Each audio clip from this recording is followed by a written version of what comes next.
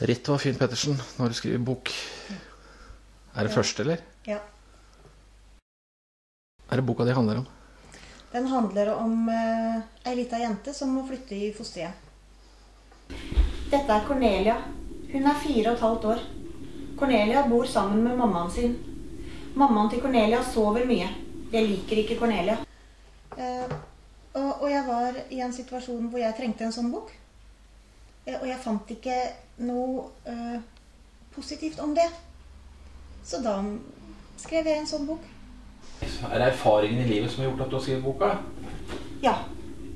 Det er det. Må jeg spørre, er det du kommer fra, da? Nei, jeg vokste opp eh, i et trygt hjem, jeg. Men vi var beredskapshjem.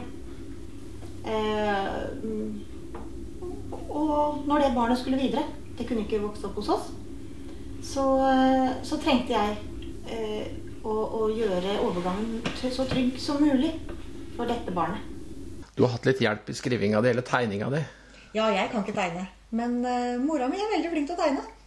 Ja, det det. Mette Fyn, du har tegna boka til dattera di. Ja, det... det har jeg. Jeg er, jeg, er, jeg er, ikke noen tegner, men jeg er utdanna dekoratør. Når denne oppgaven ble kasta i fanget på meg, og vi skulle hjelpe det her lille mennesket, så var det bare å hive seg uti det.